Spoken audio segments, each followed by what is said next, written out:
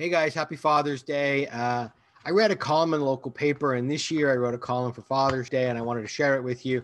So this is going to be kind of a quick one, but um, here we go. Happy Father's Day. I love dads. I love seeing a man attending to his children in the park. I love dad humor with all its annoying, painfully corny groaners. I think dads are vital to a child's development, and lucky for me, the science backs me up on this. Study after study replicates the findings that active and engaged fathers are a huge benefit to a child's language development, socialization, and future mental health. Plus, there's the impact on future relationships that having a solid father figure has and how boys are acculturated and how girls view themselves and what they tolerate in future relationships. The men's group I'm a part of has a saying men teach men to be men. And it's been my experience that this is true. I came to the group a very broken, angry at my father, hurt, frustrated man.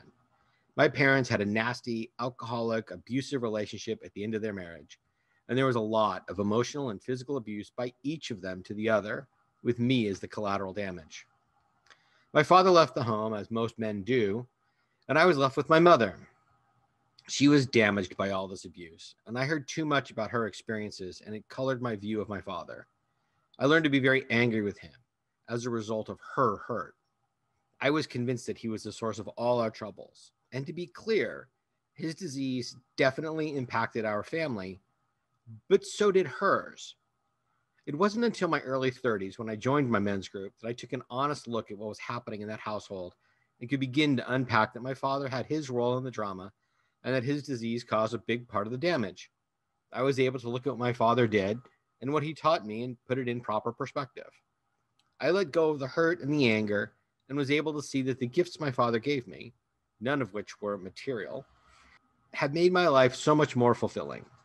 When I was able to forgive him for his sins, I found the peace and serenity that I needed to truly benefit from the gifts he did give me. I remember a man who was funny, charming, and smart. Was he more Willy Loman than Ward Cleaver? Absolutely. But was he also a World War II vet? He was a man who was caught in the throes of his alcoholism and had a wife who was in the throes of her alcoholism. They both were trapped with the expectations and roles of their generation. And I don't think either of them found comfort in the molds that they were cast from.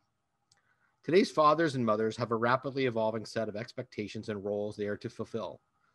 Men are asking for more time to parent their children.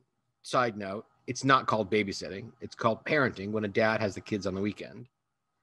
Sometimes the courts even allow the fathers to be primary parent these days.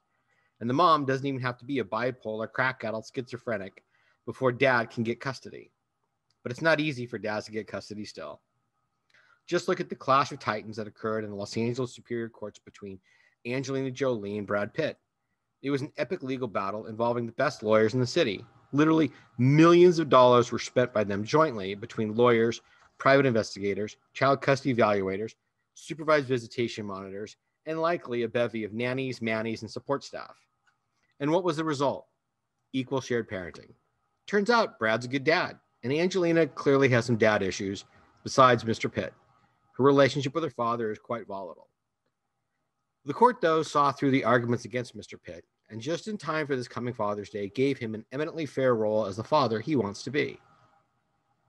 This Sunday is Father's Day. It's easy to see the doofus dads on TV and think that dads are just there for child support and to change the light bulbs. But they have a lifetime impact on their children, and they deserve to be respected and honored this coming Sunday. Happy Father's Day to all the men who are standing up and being a part of their kids' lives.